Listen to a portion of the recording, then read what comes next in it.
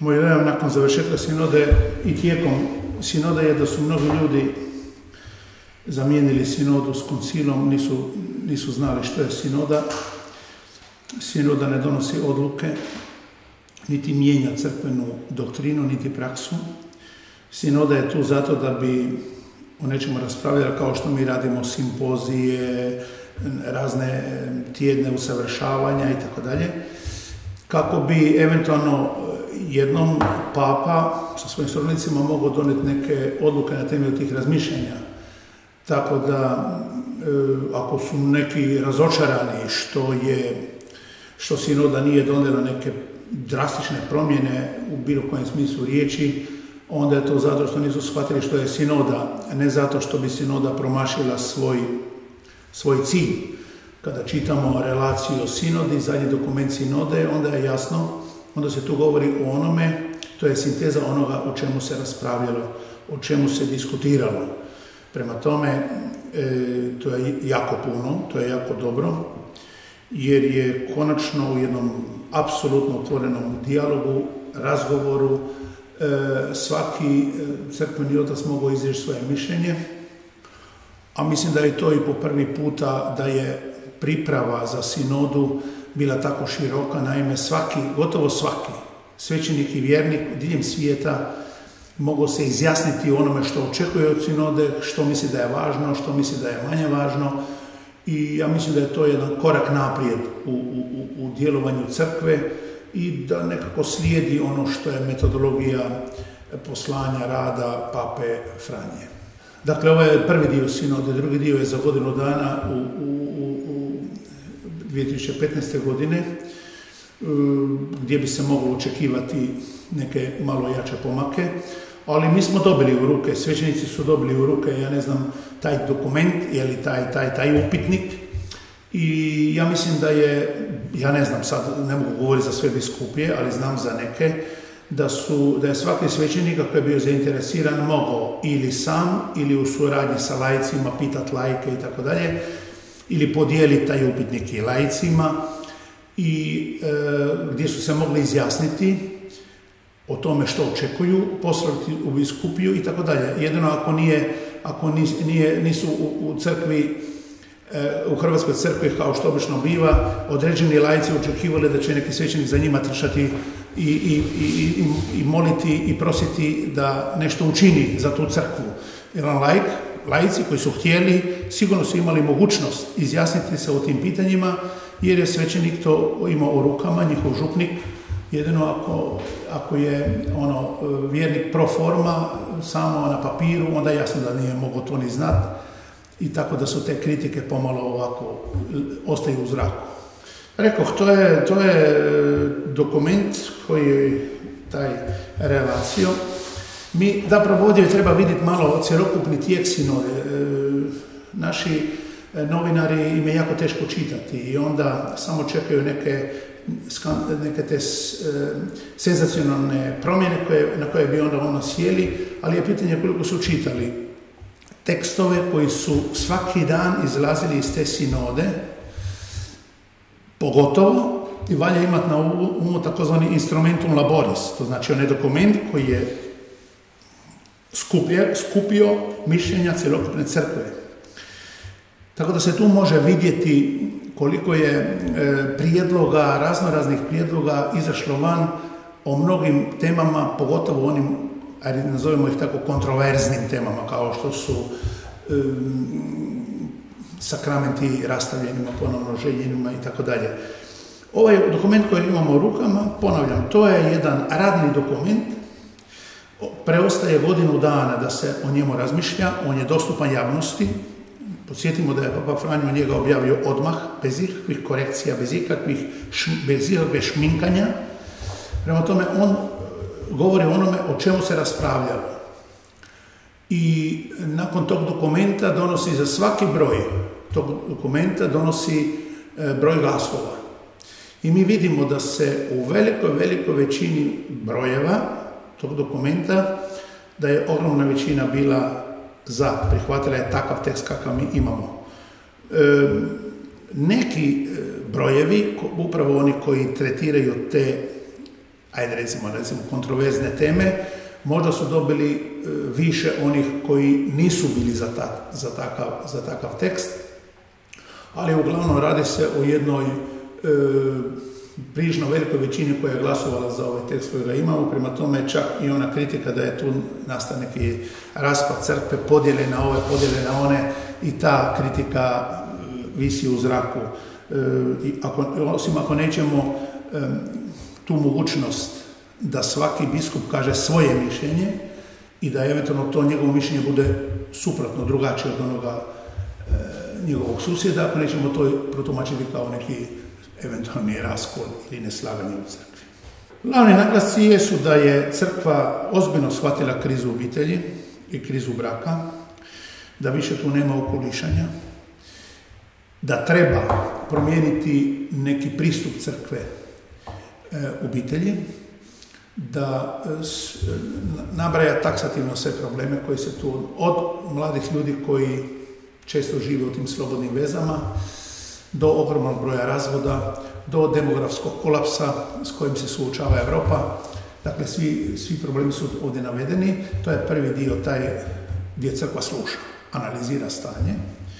Drugi dio je e, također dobar, jer jasno i nedvojbeno kaže o tome što sveto pismo, Božja riječ, pa i crkva, kaže o tome što je ženitba, što je brak, što je nerazriješivost braka, što su te vrijednosti, koje su te vrijednosti koje jedan brak čini kršćanskim brakom ili ti sakramentom.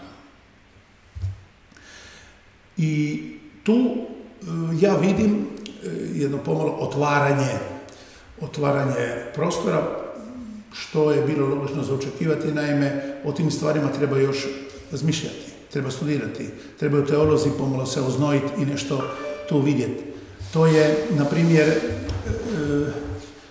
elaborirati temu više nerazriješivosti braka, sakramentalnosti braka, kako, je to, e, kako utječe na sakramena činjenica da u jednom braku vlada veliko nasilje. Brak je sakramenac spasenja. Što ćemo napraviti ako u tom braku više ne postoji, on nije više put prema spasenju njih dvoje i eventualno djece, nego samo zapreka spasenju jer, jer, jer, jer vlada unutra nepodnošljivo smržnja, svađa, nasilje i tako dalje. To su pitanja na koje nas tjera Božja riječ koja govori o ženitbi i braku. Jer ipak, kako da uzmemo to što mi čitamo u Bibliji i tako dalje, više meni, to je jedan pomalo idealizirani oblik obitelji, oblik braka koji nije, ne ostvaruje se uvijek kao što, kao što znamo.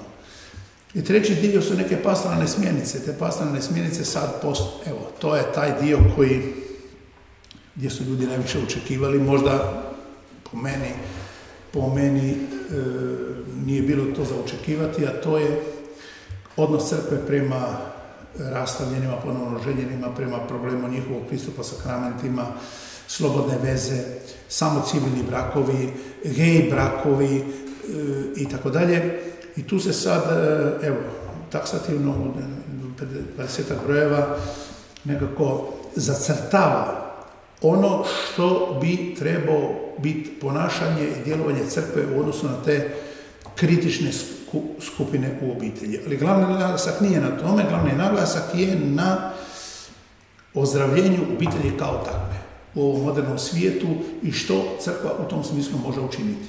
Naravno, mislimo na jednu obitelj u naravnom smislu riječi, ali na obitelj u kršćanskom smislu riječi. Pa kao što obično biva teško je sad uzmeti hrvatske medije kao relevantne čimbenike, zato što tu, rekao sam prije, tu, to je jedan senzacionalizam na dijelu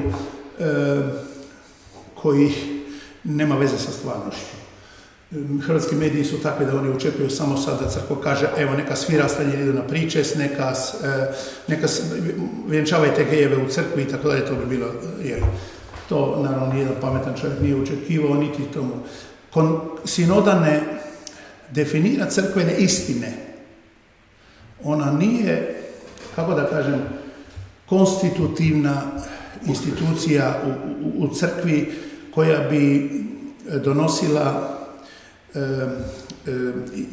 eventualno neke promjene po pitanju teoloških nekih vjerskih istina kao što je to drugi Vatski sabor. Ona ne može donijeti sada odluku neka rastavljanje ponovno ženje pristupaju pričesti ako ne, se ne riješi pitanje teološke i vjerske istine da je Isus sam Kristus ustanovio nerazriješivost braka. Ona može e, sugerirati da se poradi na tome u tih godinu dana, da se poradi intenzivno na tome, da se točno definira na čemu se zasniva ta nerazriješivost, na čemu se zasniva ta sakramentalnost, e, da se pomalo e, možda razlikuju situacije, ovisno da li je, na primjer, jedna od važnih e, točki ovog, ove sinode je ta što je gotovo unisono. To je jedan, isto jedan broj koji je dobio veliku većinu podrške, a to je da se pojednostavne procesi, ubrzaju proces za poništenje braka. Dakle, u Hrvatskoj je, e, ti procesi traju iznimno dugo. E, ako, ako je iz te sinode proizašla svijest i obveza da u svakoj biskupiji bude instaliran jedan efikasni crkveni sud koji će nekome koji danas da zahtjev za poništenje braka to riješiti u roku od godinu dana, onda je to strašni veliki napredak. I ja mislim da bi se tu riješilo jako puno stvari. Moramo, moramo isto razmišljati da svi koji su bili u crkveno vjenčani i sad su se rastavili pa su ovdje civilno vjenčali, da ih uopće ne briga crkva. Niti im je uopće stalo do sakramenata. Kada sve te eliminiramo i kada ostane onaj sukus, to jest oni vjernika koji su zaista praktični vjernici i zaista im je stalo do sakramenata, onda je to jedna velika manina u crkvi. I to moramo imati na umu, jer iz ove, kako su naši mediji izvještavali, ispada da je to glavni problem i jedini problem u crkvi. To i eventualno priznavanje nekih gej brakova, što naravno crkva, neće se dogoditi ni ovoj sinodi, ni na sljedećoj sinodi, u to vas mogu uvjeriti. E, pravoslavna crkva nema ustroj crkvenih sudova, kao što ima katolička crkva. Zato su oni morali pronaći to rješenje koje traje jako dugo, to je staro rješenje i nikada nije od crkve osuđeno od strane katoličke crkve čak ne Trijetrinskog koncilu. Radi se jednostavno o tome da, da oni, oni taj, tu moralnu smrt braka, dakle kada više ne postoji ništa što liči na brak na obitelj, smatraju, uzimaju jednako tako ozbiljno kao, ili gotovo jednako tako ozbiljno kao kod smrti jednog bračnog druga, fizičke smrti. I onda e, crkva blagoslivlje i taj drugi civilni brak, blagoslivlje. Ne kaže, ne tvrdi da je prvi brak mrtav. E sad, e, naravno to je rješenje koje je kardinal Kasper predložio u, na početku samo sinode i to se spominje ovdje, koji, oko, oko koga jasno su se razdvojila mišljenja. Ali je jasno rečeno da se na tom rješenju, na rješenju, ajde recimo tako što se govorilo, e, to, to samo duhovnog pričešćivanja, kako već hoće, da se o tome može, da mora raditi, da se o tome mora razmišljati, kako bi se na sljedećoj sinodi možda mogla e, imati, moglo imati u rukama neka kompetentna mišljenja teološke, dogmatske, naravi koji bi omogućili eventualno, eventualno da crkva katolička ide tim putem, tim putem. Ali to, to su komplicirana rješenja, to nije samo, e, to treba razlikovati stvari. Znate, ljudi nisu svi, e, crkva se mora malo zaštititi da ne bi netko bacao biserje pred svinje. Sakramenat je ozbiljna stvar i ne može ga se, sad je, pa sad nije. Sakramenat je nešto što djeluje, što je trajni pečat. Kao što netko ne može ne biti kršten kad je jednom, jednom kršten, tako netko ne može biti oženjen, ne oženjen kad je već oženjen, ukoliko se ne ispostavi da je to, taj sakramenat bio nevaljan. Na primjer, kad bih nekoga krstio mlijekom, ne bi bio valjan, ili kad bi ga krstio na silu. Isto tako kod, kod, kod ženitbe. Prema tome, tu e, ići ovako pojednostavljeno, e, ja sam bio oženjen, sad sam se rastao, ja znam, ja sam uvjeren da je moj prvi brak nevaljan i sad crkva moja to mora to moje mišljenje prihvatiti, to crkva teško može učiniti jer ona je bila prisutna garant kod onog braka koji je tada bio sklopljen. I ne može ona tako olako svaki dan gaziti riječ i svoju garanciju koja je tada dala, jer tada crkva postaje nevjerodostojna. To treba shvatiti, to je teologija, to treba učiti, to treba na neki način provariti, a ne samo čekati e, kako će nekakve senzacionalne vijesti doći iz Vatikana pa ćemo time na taj način prodavati više naših novina ili će nam televizija biti gledanija. Jedno je što narod očekuje. Druga je metodologija djelovanja crkve. Sinoda nema ovlast donijeti promjene koje se tiču dogmatske, dogmatskih stvari u crkvi, vjerskih istina. Ona nema te ovlasti. A to što ljudi očekuju, to je njihov problem. To je bio uvijek problem ljudi u crkvi, ali kad bi se crkva tako ponašala, sigurno ne bi bila trajala 2000 godina.